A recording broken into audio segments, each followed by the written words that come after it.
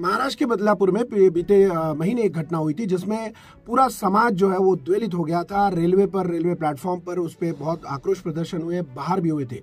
कारण क्या था? आपको बता दें, इस पूरे प्रकरण में एक बच्ची के साथ लैंगिक अत्याचार हुआ था, जिसको लेकर जो पीड़ित परिवार था, वो पुलिस स्टेशन गया, लेकिन आठ घंटे तक उनके साथ कोई कानूनी कार्रवाई नहीं की की गई और ना ही कोई एफआईआर दर्ज किया गया। इसको लेकर लोगों में आक्रोश आया और इतना बड़ा प्रकरण खड़ा हो गया।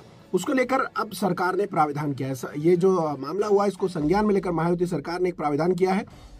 सबसे पहले ये कि ऐसे मामलों में तत्काल एफआईआर रजिस्टर होगा?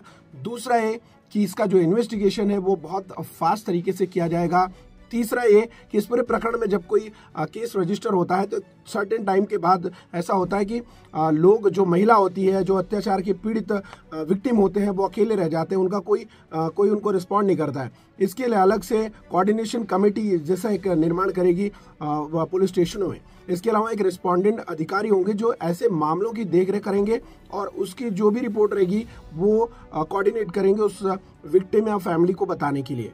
तो फ़िलहाल महाराष्ट्र की मायावती सरकार ने ये जो प्रकरण हुआ, उस पर उन्होंने एक अच्छा काम किया है, जिसे कहा जा सकता है कि महिला या बाल अत्याचार मतलब चाइल्ड या अब्यूज में या किसी भी कंडीशन में अगर उनके साथ कोई अत्याचार होता है तो अब महिलाएँ या जो फीमेल विक्टिम है, वो अकेली नहीं है। उनके साथ पुलिस के साथ कोऑर्डिनेट करने के लिए अलग से कमेटी रिस्पोंडेंट अधिकारी जस्टिस सिस्टम जस्टिस सिस्टम में कोऑर्डिनेट करने के लिए अलग टीम और इसके साथ ही जो विक्टिम है, उनसे कोऑर्डिनेट करने के लिए ऑफिसर्स नियुक्त किए जा रहे हैं। इस पूरे महाराष्ट्र की जो सरकार है, मायावती सरकार, उन्होंने ये कार्रवाई किया, उन्होंने ये संज्ञान लेके ये कार्य किया है। तो उनके इस कार्य आप कितने नंबर्स देते हैं कमेंट करके ज़रूर बताएँ।